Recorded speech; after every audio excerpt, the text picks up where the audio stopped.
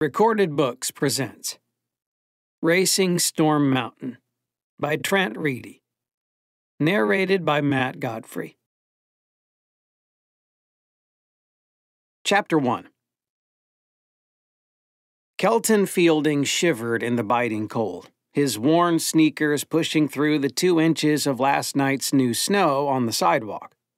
He tried to warm his hands by holding the breakfast burrito in his pocket. Two blocks from home, he stopped and muttered a curse. Come on, man. The crusty old dude who lived on that corner in an ancient, rusted Airstream camper never shoveled his sidewalks. It had snowed a little every day since the opening of McCall's Winter Carnival last Friday.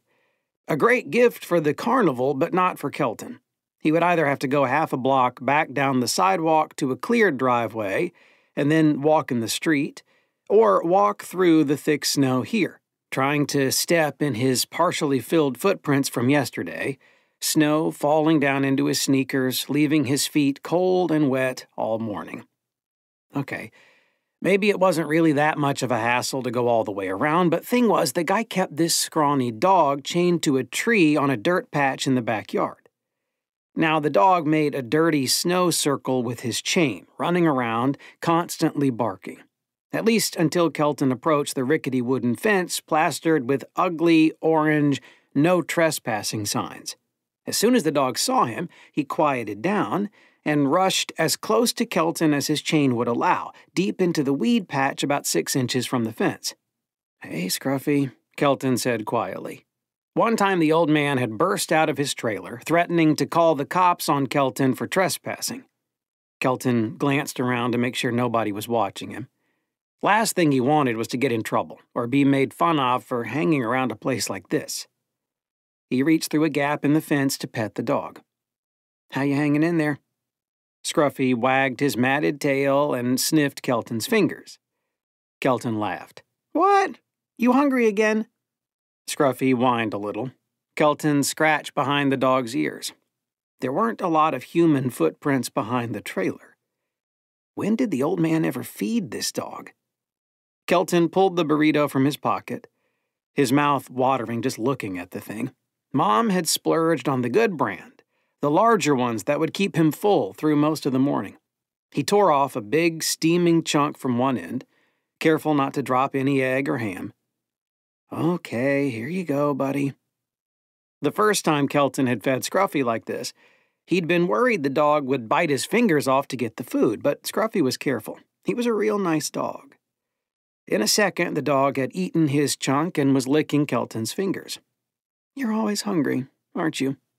Kelton's stomach growled as he took the first bite of his breakfast. Scruffy tilted his head, staring at the food. Yeah, I know the feeling. He was sure that once again he'd know that hollow emptiness later that morning as he waited for lunch. He handed the burrito to the desperate dog, who devoured it in seconds. Kelton petted Scruffy more, feeling his ribs. We're finally living in a place that allows pets, but I can't be sure we're staying. Otherwise, I'd take you with me. Just steal you. I don't care. Kelton had thought about taking Scruffy home lots of times. Just grab the bolt cutters from the garage, hide them under his coat until he reached the fence, lean down, snip the little chain, and carry that dog home where he could be happy. It would be stealing, Fine. But the old man didn't pet that dog or nothing. Scruffy was stuck out there all alone, all the time, and it wasn't right. Snow had melted into Kelton's shoes again. See you, Scruffy. I gotta go to school now. Kelton shivered, and Scruffy shook himself, rattling his chain. Hang in there, buddy. Kelton rubbed his itchy eyes and continued toward school. Inside, Kelton did his best to scrape the snow from his sneakers on the big doormat. His old worn out wet shoes squeaked on the shiny school floors.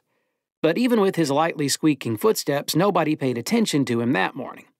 Same as a lot of mornings. He tried to nod at Seth Rimmings and Milo Tanner, a couple of guys from the band and science fiction crowd that always hung out in the commons even after the bell rang to allow people to go down the hall to their lockers. Sometimes those two were pretty cool. But today they were too wrapped up talking to each other about a figure based tabletop game they were always playing. At first, it had looked fun, but each of the little plastic medieval warrior figures cost about 15 bucks. And that was new out of the box. Rare figures on the collector market could sell for as high as $50 or $100. Forget it. He didn't even want to play this stupid game. For real. Hey, Morgan Vaughn squeaked as she rushed up to Swann Siddiq. Morgan flipped her hand back through her sandy blonde hair. What do you think? Swann flashed her bright smile. The same smile that had lit up the cover of People magazine only last year. At first, nobody had believed the rumor, but then someone had found the cover image online and printed the happy family picture of Swann with her famous actor parents. It looks great, Swann said. It wasn't that great, Kelton knew. He'd never say so around anyone, but he knew way more about women's hairstyles than most guys, on account of his mother working at the color and cut cowgirl salon. Ever since Swann Siddiq's family had moved to McCall from Hollywood, at least four girls, five, counting Morgan, had shown up asking for this special swept look. The problem, Mom had tried to explain, was that certain hair care products and special curling irons or something were very expensive to do the style right, a girl would have to pay hundreds of dollars to a stylist who had the right products and really knew the technique. Did you get it done at Color and Cut Cowgirl? Swann asked. Morgan and Swann kept talking in that super excited way girls had, and neither of them noticed Mackenzie Krenner messing with her books at her locker while she pretended she hadn't seen her best friend and number one disciple cozying up to Swann. Kelton watched it all. He often noticed things about other people, never being noticed himself. Mackenzie Krenner had always been the most popular girl in the sixth grade. She was beautiful, wore all the newest clothes with the labels everybody cared about so much, and she was super good at volleyball and basketball. When Mackenzie thought something was neat or important, so did most of the rest of the girls. Then a lot of the guys would act like they cared too because they wanted to impress the girls. When Swann arrived, she blew up the whole system. Her famous parents had recently purchased a $3 million mansion they called a log cabin right on the lake. They'd had a housewarming party not long after they moved in. Kelton hadn't been invited, of course. It was for the populars only. But nothing had been the same after that party. Mackenzie Krenner acted like she thought Swann was great and all the populars were close friends. But Kelton knew that was a load of crap. He didn't get the best grades, but he wasn't dumb enough to fail to notice the trouble behind those beautiful smiles and fake hugs. It wasn't assigned seating in science, so Kelton always grabbed a stool at one of the two person black lab table desk things in the back. He was less likely to get made fun of back there, and if he was, at least he'd see it coming. From his backpack, he produced his three ring binder that his mom had from when she was a manager at the local gas and sip a few years ago. He'd cut out the cover insert picture so that it was plain and black. Not the coolest binder, but people didn't make a big deal about the dumb gas and sip corporate logo anymore. Packed inside, taking up all the room on the metal rings, were the key sections of the 1,308 page service manual for his 2006 Ski-Doo Summit 800 snowmobile. Just the pages he needed to help him finally get the machine running. His mom's ex boyfriend Darren had purchased the manual online and downloaded it on his work laptop, printing it at home back when the printer worked. When Darren was still living with them, before he and mom broke up, the guy used to take Kelton zipping across the white, both on trail and off. Kelton had laughed the whole time Darren had cranked it up full throttle on an easy downhill run. Nobody believed Kelton when he talked about it, but he and Darren had been up to a hundred miles per hour, off a little snow bump, and they'd had that 445 pound beast in the air. It was old, but that sled used to be able to really move. It would again. Of course, for a long time, Kelton had been too afraid to even touch Darren's snowmobile. He'd never been allowed to mess with it when Darren wasn't around, but now Darren was never around, and Mom had made it clear he was never coming back. Whatever junk he left behind is up to us to dispose of now, she'd said. That's when Kelton figured the ski-doo might as well be his own. Laughter echoed from the hallway, And a moment later, Hunter Higgins, Hunter's cousin Yumi, and Annette Willard entered the room. Barrett Wilson flopped onto a stool next to Hunter. How many wolves did you shoot today? Kelton sighed. Barrett asked Hunter that every single day. Just because Hunter took a lucky shot a few months ago and brought down a wolf, people acted like he was so great. Hunter chuckled. Dad says the wolf should be back from the taxidermist in about a week. Cool, said Barrett. I gotta see that. Great match last night, Barrett, said Mackenzie Krenner from the front of the room. A pin in the first period, so cool. Yeah, um, I'd never been to a wrestling game before. Swann cut in. Mackenzie's smile turned just a little stale. Swann pushed back a strand of her midnight black hair. Kelton tried to focus on his snowmobile schematics, but Swann Siddiq did have pretty hair. For real. Swann continued. My old school only had tennis, golf, track, and gymnastics. It was more arts focused, but you looked super tough, Barrett. Swann was beautiful. But she was rich and came from Hollywood and an expensive rich kid private school and she rarely went through a day without reminding people of that fact. Thanks, Barrett replied. Kelton raised an eyebrow. A couple of years ago, he had tried to congratulate Barrett on a good job in a wrestling game. The guy had done his half laugh, half grunt thing and corrected him. That's how he learned that wrestlers did not like to call their sports contests games. It's called a wrestling meet, silly, Mackenzie laughed. Not a wrestling game. Whatever. Barrett still did great, Swann said. Then she added to Tannen Gravin, So did you. The two wrestlers in the class thanked her. Mackenzie couldn't even fake a smile after Swann had once again seized the attention. Milo Tanner sat down on the other stool at Kelton's table, hiding behind his curtain of long, dark, curly hair as usual. Hey, Milo, Kelton said. Surprised the guy had joined him before he realized the seat next to him was the second to last available, the other being next to one of the populars. If it were up to Milo, he would have grabbed a stool next to his buddy Seth. Hi, Milo said quietly. He said everything quietly. Get your snowmobile going yet? With time running out the way it was, Milo's question somehow drew even more nervous energy from deep in Kelton, like twisting a wet rag draws out water. Not yet. Still waiting for the part to come in. Everything's ready. Got it started. Got the nine million strings from the old shredded belt finally cleaned out of the primary and secondary clutches. Oh, Kelton hoped that belt would arrive today. If it showed up tomorrow, he might be able to get it installed and hurry down in time for the start of the Winter Carnival Snowmobile Fun Race. Although he wouldn't have time to run the sled at slower speeds to seat the new belt, to work it in before he had to go full throttle on the race. Kelton had spent countless hours after school at the public library, watching YouTube videos about snowmobiles. The mechanics and pro snowmobile guys all said topping the sled out right after a belt change would really shorten the life of the belt. Basically, if that new belt shows up today, I should be set, Kelton said. That's cool, said Milo. Kelton was pretty sure Milo didn't know the difference between the primary clutch and the skis, but he at least pretended to be interested. Milo was a good guy like that. Still trying to get that old ski-doo running, Fielding? Bryden Simmons said as he entered the room. I got it running, Kelton said sharply.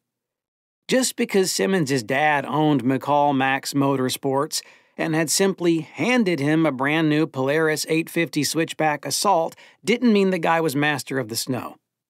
Just need a new belt and it's ready to go. Oh, great, Bryden said.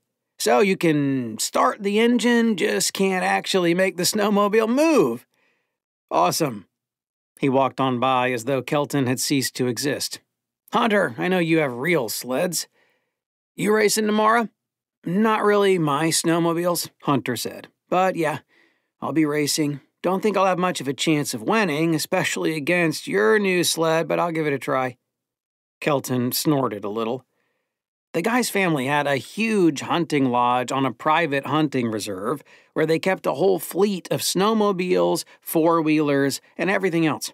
He acted so humble with his, I don't have much of a chance, and I'll give it a try But the truth was, his family had great sleds, and his rich lawyer daddy had paid the race entry for him. You racing, Yumi? Bryden asked. I'm not so big on the winter sports, Yumi said. Some skiing once in a while, no race for me. How about you, Swann? Morgan Vaughn asked. Your dad is donating that awesome snowmobile after all. A custom Yamaha Sidewinder SRX LE, Bryden said with amazement in his voice. He was right to be impressed. It was the fastest production snowmobile in the world, an $18,000 machine. Some of the guys online talked about driving theirs at speeds around 120 miles per hour. With the modifications done for Swann's daddy's action movie Snowtastrophe 3, it was said to push speeds up near 150. Plus, it had been fitted out with cool lights that made it seem to hover over the snow. Father won't buy me a snowmobile, Swann explained. Kelton was truly shocked. Her dad's films had made a ton of money, and the guy could easily swing a few thousand bucks for a snowmobile, not like Kelton, who was in big trouble if he didn't win the race, and Mom's boyfriend Steve found out how he'd raised the money for the race entry fee and for the new belt for his ski-doo. Is it really the one he rode in the movie? Bryden asked Swann. Swann's smile faded a bit. That's what they say. She waved away his question, as if she were done talking about it. An awesome snowmobile and half a grand prize money. Bryden rubbed his hands together. It's mine. I'm winning this thing. Kelton turned to the last two pages in his binder for proof that Bryden was wrong. He wouldn't win tomorrow's race. Kelton would. At the library, he'd printed a complete copy of the official race rules. The course consisted of a trail 70 miles long, looping around the base of Mount McCall, or Storm Mountain, as some people called it. Thing was, Kelton had read all the rules at least 10 times. Racers were required to clock in at each of four checkpoints. Except the rules listed no requirement for racers staying on the trail. From the back pocket of his binder, he pulled and unfolded a topographical map of McCall and the surrounding area. Something useful that Mom's new boyfriend Steve had brought when he moved in this last summer. It was the kind of map with contour lines to mark elevation, like the Army uses. Steve had a big thing about how he had always wanted to join the Army, would have enlisted and become a Special Forces sniper, except for this legal violation that wasn't his fault. Kelton printed out an online course map and compared it to his own. Checkpoints 1 and 2 were pretty far apart. Racers would reach the first flags on the straight path about halfway from the starting line to the first curve that led around to the north side of the mountain. The second checkpoint was a few miles down the more or less straight path on the north side. On his map, Kelton had drawn his path to victory. Mount McCall wasn't much of a mountain and it consisted of two peaks Big McCall to the west and Little McCall to the east, with a high valley between them. There was a defunct gold mine somewhere up there, with the rough remains of the old road over the mountain. After hitting the first checkpoint, instead of going way around the mountain, Kelton would cut many miles off his race by going through the pass over the mountain directly to checkpoint 2. It had taken the better part of a day to measure the distance on the map against the likely speed of the fastest sleds, to figure out he'd hit checkpoint two before the rest of the chumps were even halfway between the first and second. Kelton smiled as he looked over the map and reviewed his route again. It was a great plan, completely allowable by the rules, and the perfect way to compensate for all the advantages the populars had with their rich parents and more expensive and powerful snowmobiles. When Kelton won the custom mod Yamaha Sidewinder SRX LE, he'd sell it, and with that and the $500 prize, have more than enough to avoid any trouble with Steve. He took a deep, satisfied breath. For once, things would work out for him. The bell rang, and Mrs. Whittinger stood up from her computer. Good morning, everybody. Welcome to Friday, the beginning of the end of the chaos of the Winter Carnival. I overheard some of you talking about Saturday's snowmobile race, and I hope you will all be very careful. It is supposed to be a cold and snowy weekend. Was Whittinger looking at him? Like she didn't trust him? Kelton had spent hours after school at the public library, watching snowmobiling videos, learning about safety and riding technique and emergency gear. He couldn't afford the fanciest, most expensive stuff, but he'd found pretty close substitutions. Nobody was more ready for the race than he was, even if the rest of them didn't know it. Just as long as that snowmobile belt was delivered today. He held his hands over his belly as his stomach twisted from nerves or hunger. Today, we're going to begin a study of simple machines, said Mrs. Whittinger. Most of the time, when we think of machines, we envision, well, things like snowmobiles with powerful engines and complex electrical systems. But in reality, that snowmobile consists of many smaller, simpler machines, the principles of which it is important to understand before we can succeed with larger machines. Kelton moved forward a little in his seat. Finally, something interesting in science class. Mrs. Whittinger continued. So, we'll be learning about simple machines which turn energy into work. Things like the inclined plane, the wheel and axle, the wedge, screw, lever, and pulley. And to help us learn about these things, we'll be doing some hands on experiments. We'll do these with partners. Kelton slumped in his seat, the excitement running out of him like water from a melting snowman. Working in partners was the worst. Sometimes the work wasn't so bad, but the choosing was always brutal. I want to give each of you the opportunity to work with someone you might not normally get to learn with. So I'll be assigning the partners, said Mrs. Whittinger. After a brief chorus of groans, she began reading off the names, and a minute later, Swann Siddiq sat down at his table with all her stuff. Kelton tried not to look at her, worried she'd catch him admiring her. Hey, she breathed. She offered him the same kind of tired, dismissive smile she had for most everything in McCall. Maybe some people would have found this insulting, but in a strange way, Kelton found it encouraging. At least she didn't look down on him more than she did anyone else. It was a sad and pathetic attitude, he knew, but true, nevertheless. From her depths of space black hair, deep brown eyes, athletic frame, to her jeans and shirt, so expensive that a lot of people hadn't even heard of the brands, Swann was beyond popular. She was a super popular. Super pop. And, weirdly, she was kinda cool.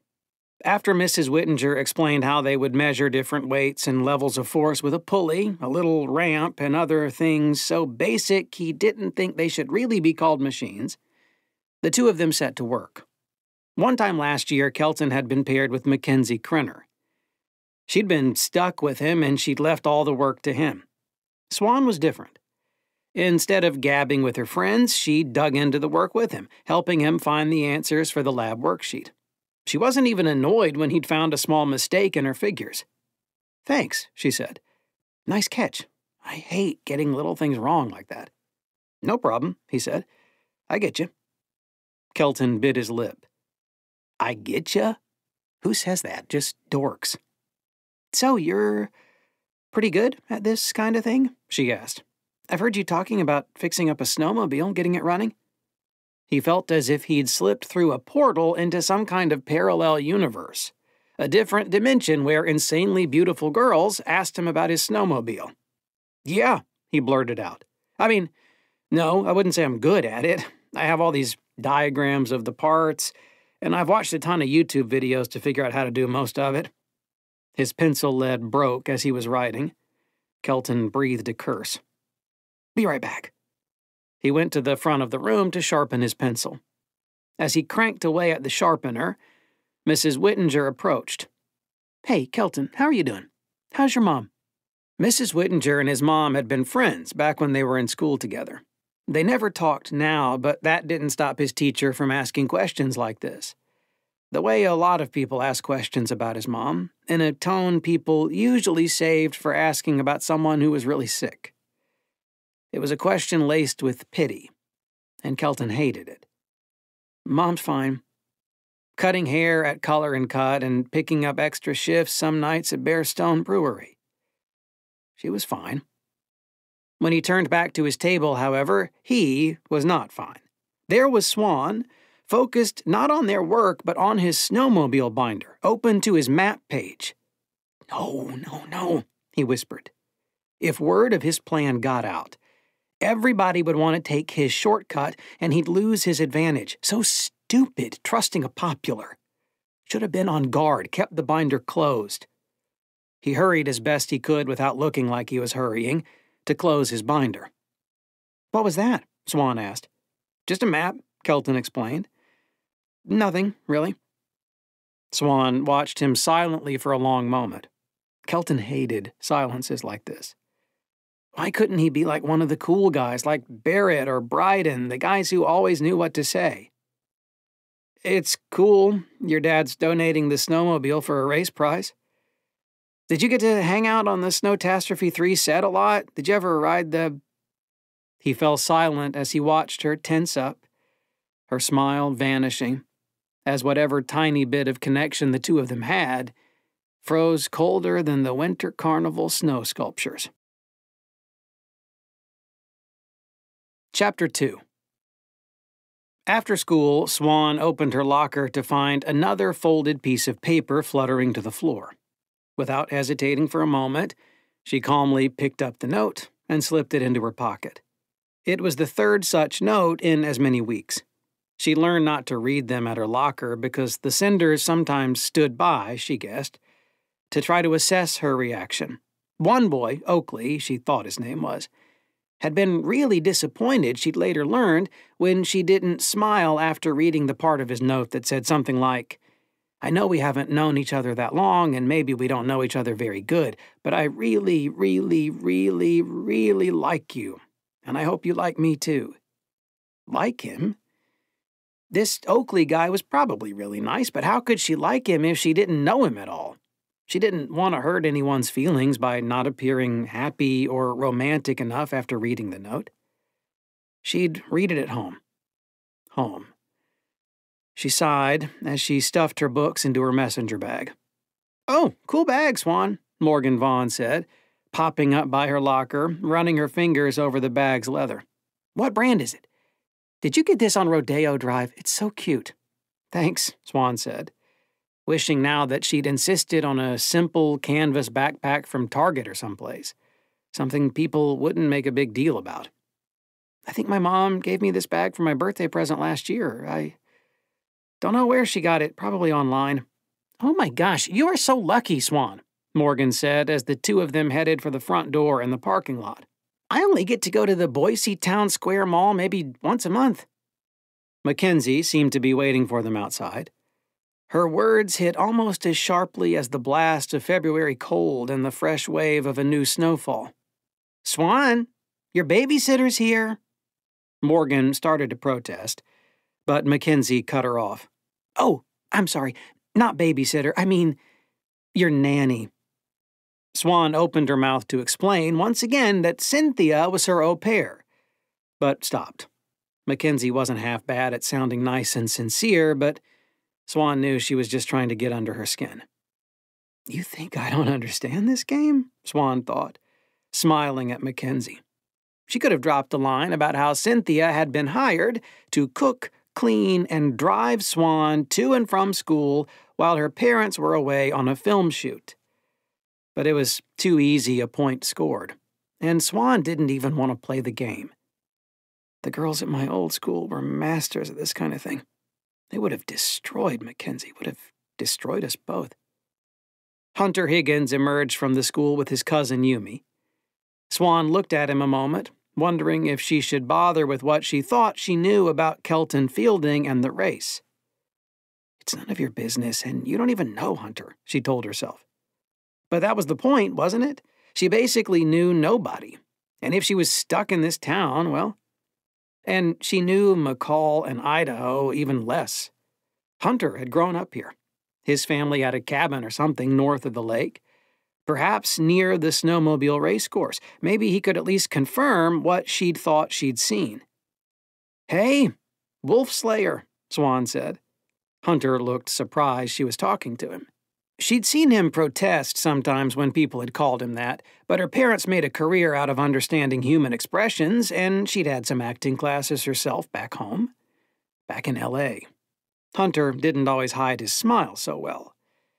He loved that nickname. Hunter's cousin Yumi elbowed him and raised an eyebrow.